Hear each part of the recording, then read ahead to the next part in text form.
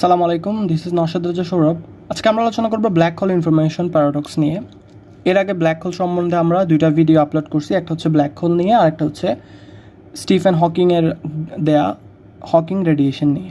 আজকে আমরা ওই সিকুয়ালেরই তৃতীয় ভিডিওটা আপলোড করতে যাচ্ছি, যা হচ্ছে ব্ল্যাক হোল ইনফরমেশন প্যারাডক্স এটা হচ্ছে এমন একটা প্যারাডক্স যা হচ্ছে আনসলভড এখন পর্যন্ত। তো আমরা এর আগে অনেক ধরনের প্যারাডক্স সম্পর্কে জানছি, যেমন টুইন প্যারাডক্স যেটা রিলেটিভিটি থেকে ক্রিয়েট হয়। এরপরে আমরা গ্র্যান্ডফাদার প্যারাডক্স সম্পর্কে জানি, ওইটাও রিলেটিভিটির একটা পার্ট এরপরে আমরা সোরিঞ্জার্স ক্যাট এক্সপেরিমেন্ট এটাও ওয়ান কাইন্ডস অফ প্যারাডক্স এটা সম্পর্কে আমরা আসলে এর আগেও জানছি। সো আজকে ওরকমই একটা অদ্ভুত টাইপের paradox black hole information paradox সম্পর্কে আমরা জানব। আচ্ছা ব্ল্যাক হোল ইনফরমেশন প্যারাডক্সটা হচ্ছে ব্ল্যাক হোলে ঘটিত একটা ফেনোমেনার থেকে আসলে উৎপত্তি লাভ করে আর কি। সো ব্ল্যাক হোল এমন একটা নেচারের ক্রিয়েশন আমরা ব্ল্যাক হোলকে যদি ডিফাইন করতে চাই, এভাবে ডিফাইন করতে পারি যে ব্ল্যাক হোল নেচারের এমন একটা ক্রিয়েশন যেখানে গিয়ে নেচারের বা ফিজিক্সের প্রত্যেকটা ল ফেল করে। যে এটা যদি ক্লাসিক্যাল মেকানিক্সের বা ক্লাসিক্যাল ফিজিক্সের ল হোক বা কোয়ান্টাম ফিজিক্সের বা কোয়ান্টাম মেকানিক্সের ল হোক, যেই লই হোক না কেন ফিজিক্সে সব কিছু ব্ল্যাক হোলে গিয়ে ফেল করে। এমন একটা আসলে ধারণা প্রচলিত আর কি। কারণ ব্ল্যাক হোল সম্পর্কে আমরা বেশি কিছু জানি না। আমরা জাস্ট ব্ল্যাক হোলটাকে অবজার্ভ করতে পারি। আবার এভাবে করে দেখতেও পারি না। আমরা জানি টেন্থ এপ্রিল আমরা জানি two thousand nineteen tenth April আমরা ব্ল্যাক হোলের একটা পিকচার পেয়েছি। এটা আসলে আমরা ছবি বা ক্যামেরা দিয়ে একটা ব্ল্যাক হোলকে তুললাম এমনটা না। যেমন আমরা টেলিস্কোপ দিয়ে চাইলে সৌরজগতেরই বিভিন্ন ধরনের গ্রহদেরকে দেখতে পারি। আমরা স্যাটার্ন দেখতে পারি, তারপরে আমরা মার্সকে দেখতে পারি। অবভিয়াসলি চোখে দেখতে পারি এগুলোকে, ঠিক আছে? কারণ সূর্যের লাইটটা যখন গিয়ে পড়বে, ওই গ্রহগুলোতে ওগুলো থেকে রিফ্লেক্ট হয়ে আলোটা পৃথিবীতে আসতেছে। ঠিক আছে? যদি যদি চিন্তা করি, এই ব্ল্যাক হোলেরই এটা হচ্ছে যে ম্যাসিয়ার এইটি সেভেন একটা গ্যালাক্সির মিডিয়াল অংশে অবস্থিত গ্রহ ব্ল্যাক হোল যেটা আমরা ছবিতে তুলছিলাম আর কি। যার ছবিটা আমরা তুলছি, যে ব্ল্যাক হোলটা টেন্থ এপ্রিল আমরা পাইছিলাম, যে ব্ল্যাক হোলের ইমেজটা সো এটা এভাবে কিন্তু না ব্ল্যাক হোলকে আমরা এভাবে করে ছবি দিয়ে বা ক্যামেরা দিয়ে ক্যাপচার করতে পারি না, কারণ আলো তো ব্ল্যাক হোল থেকে আসে না। আমরা ব্ল্যাক হোলকে অবজার্ভ করি, তার পাশের যে বিভিন্ন ধরনের সেলেস্টিয়াল বস্তুগুলোর ইন মোশন বা তাদের আচার আচরণ দেখে। অর্থাৎ যদি দেখি যে স্পেসের এমন একটা জায়গায় কিছু বস্তু, বড় বড় বস্তুগুলো কি এভাবে করে অ্যাট্রাক্ট হচ্ছে, অথবা একটা দিকে এভাবে করে করে সরে যাচ্ছে, বা তারা এরকম করে করে কি একটা অঞ্চলের মধ্যে তারা কি করছে, সঞ্চিত হচ্ছে, এভাবে চিন্তা করতে পারি। এই টাইপের ফেনোমেনা যখন আমরা দেখব স্পেসে তখন বুঝব যে ওই জায়গায় হয়তো একটা কি ব্ল্যাক হোল থাকতে পারে। এভাবে করে আমরা ব্ল্যাক হোলটাকে ডিটেক্ট করতে পারি। অথবা আমরা হকিং রেডিয়েশন যেগুলো ব্ল্যাক হোল থেকে বের হয়, ঠিক আছে? ওয়ান কাইন্ডস অফ রেডিয়েশন আমরা এর আগে হকিং রেডিয়েশন নিয়ে আলোচনা করছিলাম। তো হকিং রেডিয়েশনকে ডিটেক্ট করতে পারি। এরপর কসমিক ওয়েভ থেকেও আমরা আসলে কিছুটা প্রেডিকশন লাগাইতে পারি ব্ল্যাক হোল নিয়ে আর কি। সো ব্ল্যাক হোল হচ্ছে এমন একটা পার্ট নেচারে যেটা সম্পর্কে বেশি কিছু আমরা আসলে এখন পর্যন্ত জানি না। কিন্তু আস্তে আস্তে কি বিজ্ঞানের কি ইভলিউশন হচ্ছে আমরা আরও বেশি কিছু ব্ল্যাক হোল নিয়ে জানব। সো আরেকটা কথা হচ্ছে যে দুই হাজার পনেরো সালে, আমরা জানি দুই হাজার পনেরো সালে চোদ্দ সেপ্টেম্বর আমরা গ্র্যাভিটেশনাল ওয়েভ ডিটেক্ট করতে পারছি। তো গ্র্যাভিটেশনাল ওয়েভ নিয়ে আমরা ভিডিও করছি। তো গ্র্যাভিটেশনাল ওয়েভ বলতে কি? আমরা জানি স্পেস টাইম চাদরে স্পেস টাইম একটা চাদর কল্পনা করা হয়। এটা গ্র্যাভিটি জেনারেল রিলেটিভিটিতে প্রেডিক্ট করছে আইনস্টাইন। তো স্পেস টাইমে যদি দুইটা সেলেস্টিয়াল অবজেক্ট বা আমরা যদি স্পেসিফিক বলি দুইটা ব্ল্যাক হোল যখন কোলাইড করবে একসাথে, তারা একটু বড় আরেকটা ব্ল্যাক হোলের সৃষ্টি করবে, এভাবে করে চিন্তা করতে পারি। বা দুইটা সেলেস্টিয়াল অবজেক্ট যদি একসাথে কোলাইড করে, আরেকটু বড় একটা সেলেস্টিয়াল অবজেক্টে তারা পরিণত হবে। সেক্ষেত্রে স্পেস টাইমে একটা ওয়েভের সৃষ্টি হবে, যেটাকে আমরা গ্র্যাভিটেশনাল ওয়েভ বলতেছি। ওই ওয়েভটা যখন পৃথিবীতে আসবে, তখন পৃথিবী একটু সংকুচিত হবে। সংকুচিত না, প্রসারিত হবে। প্রসারিত হওয়ার ফলে একটা যন্ত্র, তো এখানে আমরা বলতে পারি লিগো দিয়ে ডিটেক্ট করছি, লিগো থেকে ডিটেক্ট করা। তো এমন একটা যন্ত্র, যে যন্ত্রের মধ্যে আলো দিয়ে আমরা কিছু কাজ বা কিছু এক্সপেরিমেন্ট আমরা করছি, ওই এক্সপেরিমেন্টে কিছু পরিবর্তন দেখা যায়। বলতে পারি যে আলোটা আমরা ডিটেক্ট করতে পারি। একটা এক্সপেরিমেন্টের মাধ্যমে আমরা গ্র্যাভিটেশনাল ওয়েভ একটা ভিডিও করছি, ওখানে এগুলো নিয়ে বিস্তারিত আলোচনা করছি। সো ওভাবে আমরা গ্র্যাভিটেশনাল ওয়েভটাকে কী করলাম? ডিটেক্ট করলাম দুই হাজার পনেরো সালে। পরবর্তীতে দুই হাজার উনিশ সালে আমরা কিন্তু ব্ল্যাক হোলের একটা ইমেজটাকেও আমরা সংগ্রহ, সংগ্রহণ করছি আর কি। সো এই টাইপের যে পরিবর্তন, যেমন পনেরো সালের আগে যে এখানে দুইটা সেলেস্টিয়াল অবজেক্ট কোলাইড করে বা দুইটা ব্ল্যাক হোল কোলাইড করে একটা নতুন ব্ল্যাক হোলের জন্ম দিবে বা স্পেস টাইম এই কনসেপ্টটা পুরোপুরি কি? অন্যরকম ছিল, আমাদের কাছে খোলাসা ছিল না এটা সম্পর্কে। তো এরপরে ব্ল্যাক হোলেরও যে পিকচারটা পাইলাম, আমরা দেখেন কত বেশি পরিমাণে ইভ্যালুয়েশন হয়েছে বিজ্ঞানের বলতে গেলে, আপাত দৃষ্টিতে। কিন্তু আমরা আসলে মানে one point zero zero zero zero zero zero nine পার্সেন্টও এখনও কী করতে পারি নাই ডিসকভার করতে পারে না তারপরেও এই ব্যাপারগুলো কিন্তু খুব ছোট না, অনেক বড় ধরনের মানব জাতির জন্য অনেক বড় ধরনের একটা অ্যাচিভমেন্ট সো পনেরো সালে আমরা এগুলো পাইলাম, উনিশ সালে এটা পাইলাম। তো আস্তে আস্তে পরবর্তীতে আমরা অনেক কিছুই আসলে পাবো এমন একটা প্রেডিকশন দেওয়া যায় আর কি। তো সেক্ষেত্রে ব্ল্যাক হোল সম্পর্কে আমরা সামনে অনেক বেশি কিছু জানতে পারব। তো আজকে ব্ল্যাক হোল সংক্রান্ত একটা স্পেসিফিক একটা টপিক হচ্ছে ইনফরমেশন প্যারাডক্স ওটা নিয়ে একটু কথা বলতে যাচ্ছি। তো শুরুতে বলে রাখি যে ব্ল্যাক হোলটা কী? বা ব্ল্যাক হোলকে আমরা যদি একটু ডিফাইন করতে চাই ব্ল্যাক হোলকে আমরা বলতে পারি যে, মাঝখানে এমন একটা অংশ আছে, যে অংশটার ভেতরে আসলে সব কিছু কী হয়ে যায়, ঢুকে যায় বা গিলে ফেলে ব্ল্যাক হোল সো এটার বাইরে একটা পোর্শন আছে ব্ল্যাক হোলের ঠিক আছে? যেগুলো একটা অংশের ভেতরে যা অবজেক্ট বা যেই সেলেস্টিয়াল অবজেক্টগুলো গুলো, এটা গিলে ফেলবে, ওগুলো সবগুলো এটার ভেতরে প্রবেশ করবে, এমন একটা অংশ আছে। এটা এটা হচ্ছে ব্ল্যাক হোল ব্ল্যাক হোলের চারপাশে এমন একটা অঞ্চল আছে, যে অঞ্চলটা ভেতরে যদি কোনো অবজেক্ট প্রবেশ করে, অর্থাৎ আমি একটা অবজেক্ট এখানে যাচ্ছে, এদিকে চলে যেতে পারবে একটা নির্দিষ্ট ভ্যালোসিটি নিয়ে। কিন্তু কোনো একটা অবজেক্ট যদি এই অঞ্চলে চলে আসে, তখন আর এই অবজেক্টটা এই ব্ল্যাক হোলের বাইরে যাইতে পারবে না। এই অঞ্চলটাকে বলা হয় ইভেন্ট হোরাইজন ইভেন্ট হোরাইজন অর্থাৎ আমাদের যে আলো হ্যাঁ আলো হচ্ছে দ্য কি মোস্ট ভ্যালোসিটি বলতে পারি মানে যা highest velocity of this universe এভাবে করে আলোটাকে প্রুভ করা হয়েছে। আলো পর্যন্ত এই ইভেন্ট হোরাইজনকে স্কেপ করে যেতে পারবে না। অর্থাৎ আলো যদি আসে, আলোকেও নিজের মধ্যে নিয়ে নিবে কে? এই ইভেন্ট হোরাইজন এর মাধ্যমে আলো যদি ইভেন্ট হোরাইজন আসে, আলোকেও নিজের মধ্যে নিয়ে নেবে কে? ব্ল্যাক হোল সো সেক্ষেত্রে আলো পর্যন্ত স্কেপ করতে পারে না। তো আমরা তো আলো থেকে কি বেশি বেগে যাওয়া সম্ভবই না। তাহলে আলো যেহেতু হয় না, ঠিক আছে? আলো যেহেতু স্কেপ করতে পারে না ব্ল্যাক হোলকে সেক্ষেত্রে আমাদের ক্ষেত্রে জিনিসটা পুরোপুরি ইম্পসিবল মানে এখনকার ফিজিক্সের থিওরি অনুসারে আর কি। সো সেই জন্যই বলতেছি যে সব ল এখানে ফেল করে, কারণ এটা সম্পর্কে আমরা কিছুই জানি না। সো ব্ল্যাক হোল আবার স্পেস টাইমের চাদরটাকে কিন্তু অনেক বেশি পরিমাণে কার্ভ করে। তো কার্ভ করার ফলে এখানে হিউজ পরিমাণে গ্র্যাভিটি হয়। যে গ্র্যাভিটিটা এতই হিউজ যে আলোকে পর্যন্ত কি নিজের মধ্যে নিয়ে যায়। তো একটা জিনিস চিন্তা করেন যে পৃথিবী যে গ্র্যাভিটি আছে, পৃথিবীর যে স্পেস টাইমটাকে তো পৃথিবীও একটা কি কার্ভেচার পৃথিবীতেও কি স্পেস টাইমটাকে বাঁকাইছে। তো সেক্ষেত্রে পৃথিবীর গ্র্যাভিটি কিন্তু খুবই ছোট। এইটা হচ্ছে আলোর বেগ। এই আলোর বেগটাকেও কি করে?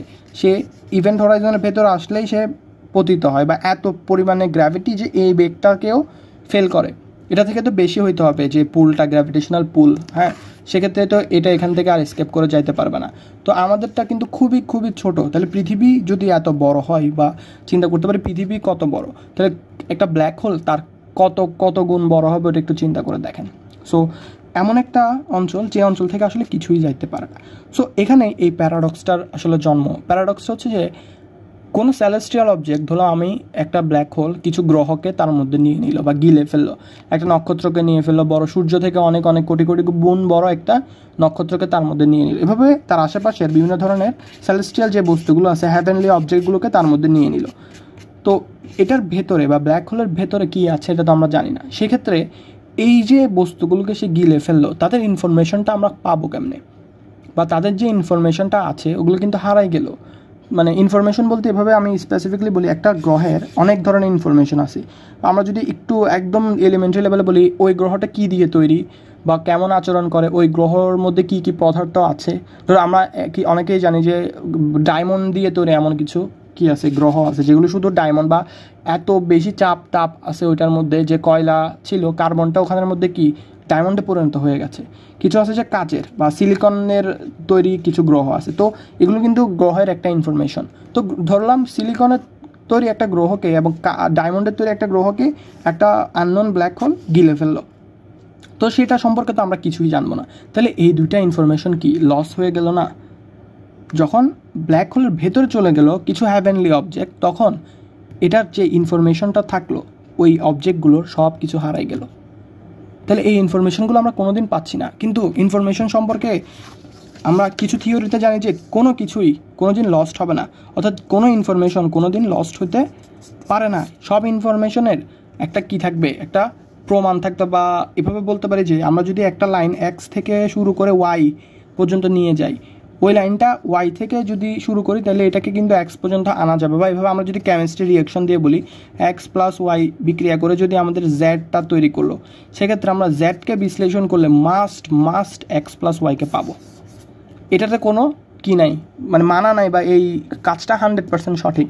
আমরা এটাকে আরও বেশি যদি বলতে চাই, আমরা যদি আমার কাছে যে, আমার এই পেজ এই পেজটাকে আমি এখন আগুনে পুরাই ফেললাম। পুরাই ফেলার পরে এটা থেকে আমরা অ্যাশেস পাবো বা এখান থেকে কিছু কি ছাই পাবো। সর্বোচ্চ। এটার মধ্যে এই যে ইনফরমেশনটা আছে, এই যে লিখা, এটা প্রথমে গেলোগা তারপরে এটা একটা কাগজ, এটা বাঁশের কাঠ, বিভিন্ন ধরনের কি ক্লে দিয়ে তৈরি বা বাঁশ দিয়ে তৈরি বলতে গেলে। তো ওই জিনিসটা কি পাবো আমরা? পাবো না। পুরো পাবো কি ছাই? তাহলে ছাইকে যদি আমরা সেম অর্ডারে যে অর্ডারে এটা পুষছে ওই অর্ডারে রি অর্ডার করে সাজাইতে পারি ছাইগুলোকে, তখন হান্ড্রেড পার্সেন্ট থিওরিটিক্যালি প্রুভড যে আমি এই পেজটা ঠিকঠাকভাবে পাবো। এটা থিওরিটিক্যালি কিন্তু সঠিক যে একটা কাগজকে যদি আমি পুড়ে ফেলি, যে ছাই পাবো, ওটাকে যদি রি অর্ডারে সাজাইতে পারি, তখন আমরা আবার এই কাগজটাকে ফিরে পাবো।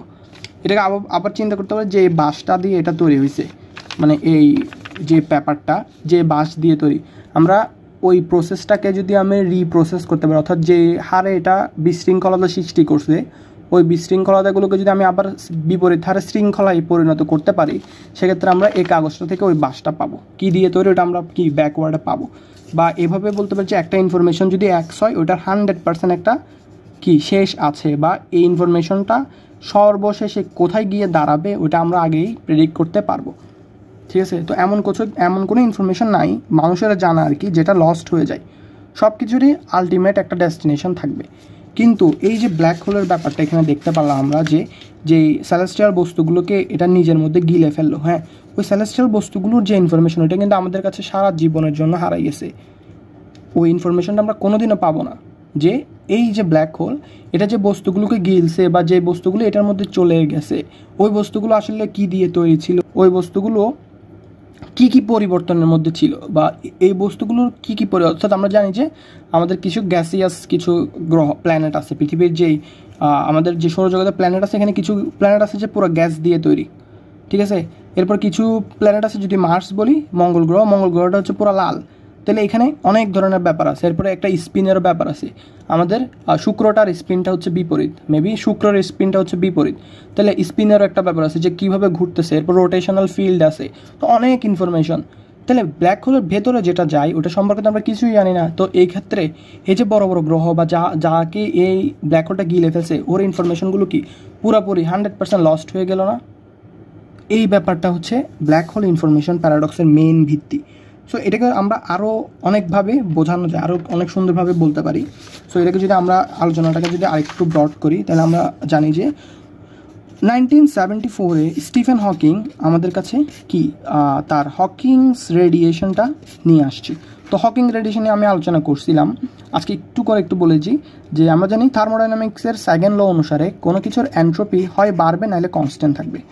কিন্তু অ্যান্ট্রোপি কখনো কমতে পারে না। এটা হচ্ছে থার্মোডাইনামিক্সের second law so Stephen Hawking কি আবিষ্কার করছে বলি? এটা যে যদি হয় একটা ব্ল্যাক হোল এটা হচ্ছে তার হক কি? ইভেন্ট হরাইজন ঠিক আছে? একটা ইভেন্ট হরাইজন যেখানে যদি কোনো কিছু চলে যায়, সেক্ষেত্রে সে আর ফিরে আসতে পারবে না। তাহলে এই যে ব্ল্যাক হোল এটার একটা টেম্পারেচার থাকবে। প্রত্যেকটা ব্ল্যাক হোলের একটা টেম্পারেচার থাকবে। যদি টেম্পারেচার থাকে, অর্থাৎ যদি তাপমাত্রা থাকে অবভিয়াসলি সে একটা রেডিয়েশন ইমিট করবে। যে কোনো বস্তু যার তাপমাত্রা আছে, সে অবভিয়াসলি একটা রেডিয়েশন ইমিট করতে থাকে, ঠিক আছে? সো এই ক্ষেত্রে অর্থাৎ আমি যদি আরেকটু বলি, ধরো আমি এখানে ক্যাম্প ফায়ার করলাম ক্যাম্প ফায়ার তো ক্যাম্প ফায়ার এগুলো আগুন জ্বলতেছে, অর্থাৎ কাঠগুলো পুড়তেছে। আমি এখানে বসে আগুনটা পোয়াচ্ছি কিন্তু এখানে কোনো বাতাস নাই। তো এখানে যে মানে তাপটা আমি অনুভব করি, অর্থাৎ আমি যে এখানে বসে আছি ক্যাম্প ফায়ার ক্যাম্প ফায়ারের পাশে, আমি যে যে আগুনের তাপ অনুভব করি, যে শীতটা আমার কম লাগতেছে, ঠিক আছে? ওটা কেমনে? এখান থেকে তো বায়ু নাই, যার ফলে বাতাসের ফলে এখান থেকে হাওয়া বা গরম হাওয়াগুলো, অর্থাৎ এই যে ক্যাম্প ফায়ারের উপরের হাওয়া, এগুলো আমার গায়ে আসি লাগল। সেক্ষেত্রে আমার খুবই মানে কি গরম লাগতেছে। যেহেতু বায়ুও নাই, তাহলে এখান থেকে কীভাবে আমি গরমটা বোধ করতেছি ক্যাম্প ফায়ারের পাশে বসে? কারণ এখানে কোনো এয়ার নাই। তো এয়ার ছাড়া আমাদের দুজনের মধ্যে তো অনেকটুকু জায়গা ফাঁকা। তারপর আমি গরম কীভাবে বোধ করতেছি? আমার কাছে কি আসতেছে? রেডিয়েশন আসতেছে। রেডিয়েশনগুলো মাধ্যমে আমি কি তাপ অনুভব করতে পারতেছি? তো এই ফেনোমেনাটা আসলে এইভাবে যে যেহেতু একটা ব্ল্যাক হোলের তাপমাত্রা থাকবে, প্রত্যেকটা ব্ল্যাক হোলে সেক্ষেত্রে সে অবভিয়াসলি একটা রেডিয়েশন এমিট করবে। তো এখানে এই জিনিসটাকে কীভাবে ডিফাইন করছে স্টিফেন হকিং এটা একটু বলে দিই আমি। একটু বলি স্টিফেন হকিং বলছে যে টেম্পারেচার যেই টেম্পারেচার থাকবে একটা ব্ল্যাক হোলের ওটা কেমনে পাবো আমরা? অর্থাৎ কি? প্রতিটা ব্ল্যাক হোল অনেকগুলো কি? সুপারমেসিভ যদি ব্ল্যাক হোল বলি, এটা অনেক বড় বড় সেলেস্টিয়াল অবজেক্টগুলোকে গিলে গিলে এটা থেকে আস্তে আস্তে অনেক বড় হয়েছে। অর্থাৎ এটা যদি পাঁচটা অবজেক্টকে গিলে ফেলে, তাহলে এটা, এটার পাঁচ গুণ বড় হয়ে গেল, এত বড় হয়ে গেল। তো এই ক্ষেত্রে এটার মাসও কি? ইনফাইনাইট লেভেলের বৃদ্ধি পাবে না। মাসটা অনেক বাড়বে। ঠিক আছে? অনেক বেশি মাপ বাড়বে। কারণ একটা ব্ল্যাক হোল স্পেস টাইমের কার্ভটাকে অনেক বেশি পরিমাণে কি বাকিয়ে ফেলে বা অনেক বেশি পরিমাণে কার্ভের সৃষ্টি করে স্পেস টাইমে তো সেক্ষেত্রে তার ইনফাইনাইট লেভেলের মাস থাকতে হবে। সেক্ষেত্রে তো অনেক বেশি পরিমাণে বাঁকাইতে পারবে। এটা জেনারেল রিলেটিভিটির কথা আর কি। তো সেক্ষেত্রে যে মাস অনেক বেশি, তো এই মাসের সাথে এই টেম্পারেচারের সম্পর্ক। মাসের সাথে টেম্পারেচার সম্পর্ক হচ্ছে যে temperature is inversely proportional to mass তো এটা দ্বারা বুঝি যে একটা ব্ল্যাক হোল যার মাসটা থাকবে অনেক বেশি হিউজ পরিমাণে যার মাস থাকবে তার টেম্পারেচার থাকবে খুবই কম।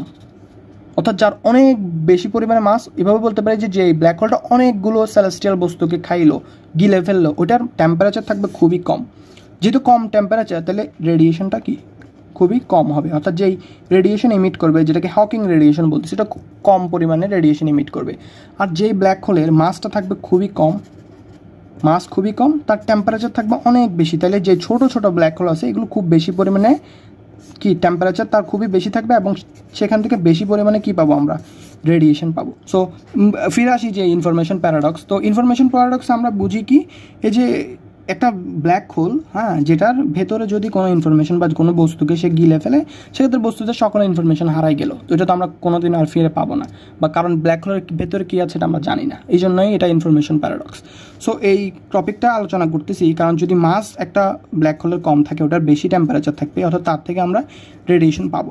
সো যদি মাস এমন হয় যে একটা ব্ল্যাক হোলের মাস যদি অনেক কমতে থাকে ঠিক আছে? মাছ ধরো কমতে কমতে কমতে কমতে কমতে অনেক কম পরিমাণে মাছ চলে আসলো। অর্থাৎ বস্তুটা, যে ব্ল্যাক হোলটা মানে তার আশেপাশে কোনো স্যালেস্ট্রিয়াল অবজেক্ট নাই। ঠিক আছে? মানে অনেক অনেক বছর আগে একটা ব্ল্যাক হোল ফর্ম হয়েছে ওটা আস্তে আস্তে তার ওজনটা বা ভরটা ভরটা হারাতে আছে। ভরটা হারাতে আছে। হারাতে হারাতে হারাতে হারাতে একদম খুব কম পরিমাণে ভর এটার মধ্যে অবশিষ্ট রয়ে গেছে। সেক্ষেত্রে সে যে বস্তুগুলোকে গিলেছিল এর আগে, অর্থাৎ তার ভরটা কি? এই যে রেডিয়েশন ইমিট করতেছে বা টেম্পারেচার তার কি? বাড়তেছে। তো আস্তে আস্তে রেডিয়েশন ইমিট করে করে তার ভরগুলো কিন্তু কমে যাচ্ছে। তো এমন একটা পর্যায়ে যাবে যে তার ভরগুলো একদম কমে যাবে, একদম মাসলেস অবস্থায় হয়ে যেতে পারে একটা ব্ল্যাক হোল ঠিক আছে? তো সে যে ইনফরমেশনটা কী করল?